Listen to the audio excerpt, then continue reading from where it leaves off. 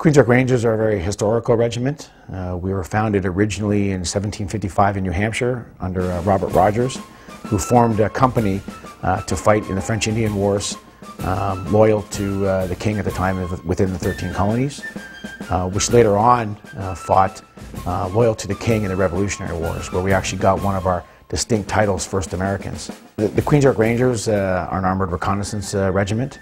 Um, as far as the the Armored Corps goes, um, it's uh, a regiment that I think uh, became was infantry uh, up till about 1956, and we re-rolled into armored, and then later on became an armored reconnaissance regiment. Uh, one of our first commanding officers was uh, Simcoe.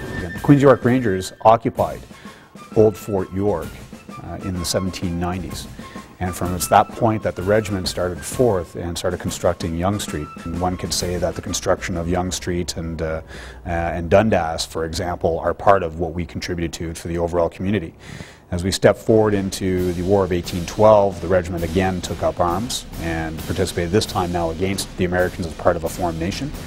And then as we moved on into the World War I, uh, the regiment uh, raised uh, a number of battalions, most notably the 20th Battalion from up in the New, uh, Newmarket and Aurora area, for service overseas as part of the Canadian Expeditionary Force and served with honor with three members of the regiment obtaining the Victoria Cross. The history of the Queen's York Rangers has a lot to do with the place we're standing, Fort York National Historic Site. What you see here are the buildings that were constructed between 1813 and 1815. Simcoe's site was here. It's about three feet below my feet.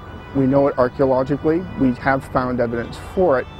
And it represents one of the few remaining places in the city where you can find the 18th century still preserved. John Graves Simcoe selected this spot to build his garrison for the simple reason was it was the best natural harbor on Lake Ontario. When he arrived in 1793 with the Queen's Rangers, the first job that they had was to build what would become the garrison here at York. What you see here is a modern replica of the distinctive green uniform of the Queen's Rangers from the 1890s.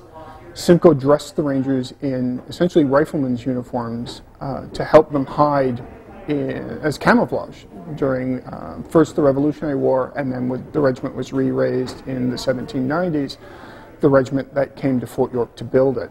The, the tools employed by the Rangers were extremely simple and you see some of them here. Um, axes, adzes, um, which is essentially an axe turned sideways, were used to open up what was virgin forest, essentially from the lakefront all the way up to Lake Simcoe. Um, that became Yonge Street. The construction of Yonge Street by the Rangers really did help open up north of Toronto and into York region for later settlement. Living conditions for the Queen's Rangers would have been crowded and primitive when they were in camp.